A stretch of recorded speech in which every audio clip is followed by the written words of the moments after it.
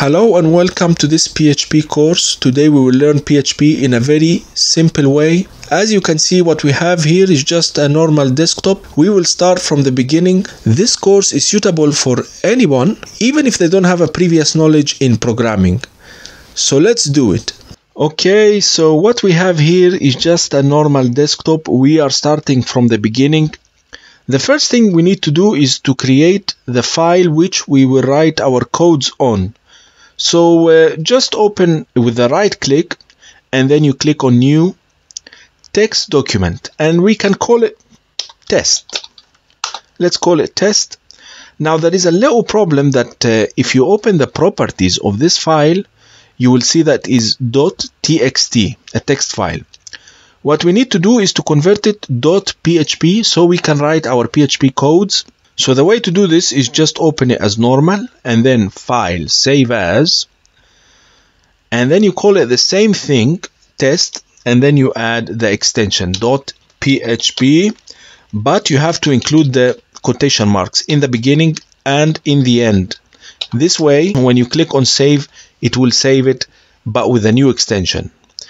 We choose the same destination, the desktop, and then we click on save, and that's it. If we go to the desktop, we will see the file that we just created. Let's open the properties now, and you will see that it's .php. This is what we need to start writing our PHP codes. So let's remove this old one here, which was .txt. We don't need it anymore, and then we empty the recycle bin so the desktop looks nice. So let's get started in writing our PHP codes. We are keeping everything simple and easy. All the codes that you write in PHP, they have to start with this symbol and they have to end with this symbol here. I know they look funny, but this is how everything needs to start and finish. Everything that you write has to be in between them so the web browser will know that this is all PHP. So today we will learn the first lesson of PHP. Something is called print. Print does not mean print with a printer, it means show something.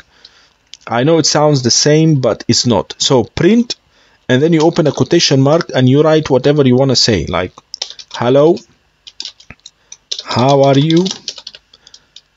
And then you end the quotation mark and then you add this symbol here. This symbol is very important in PHP. Every line in PHP has to end with this symbol here. So that's it. Today we learned something called print. What does this do?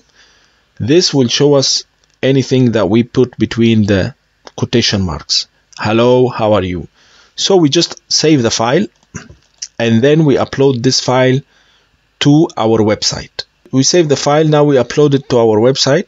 The website name today is zorten.com. So uh, you type zorten.com and then we type test.php. This is the file that we just uploaded and then you hit enter.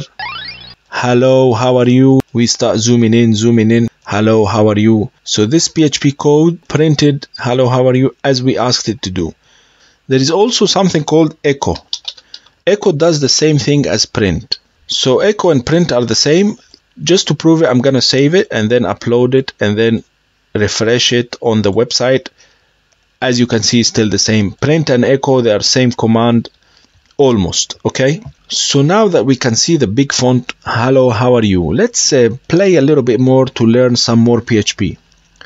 What if we put another line the same like this, just copy paste it, okay?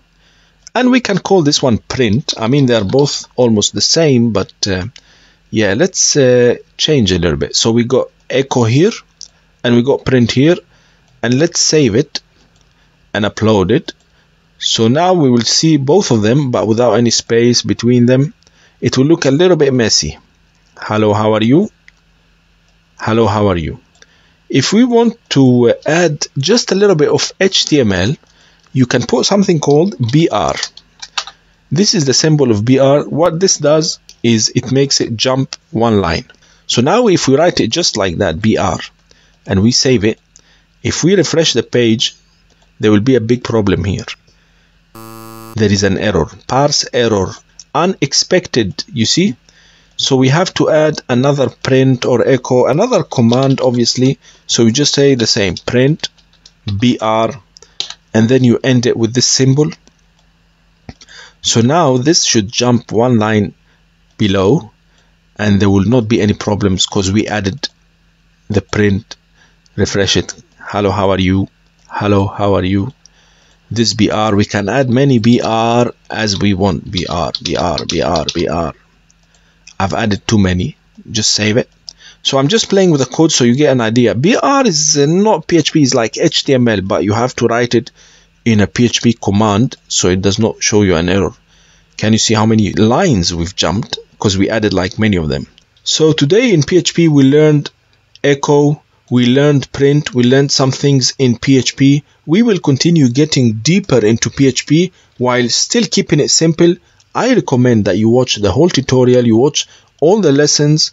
It will benefit you a lot in the future. By the end of these lessons, you will be able to program using PHP. So uh, if you cannot find the list of lessons in this page, perhaps you can find the link for the full course. Thank you for watching today's lesson and I will see you next time.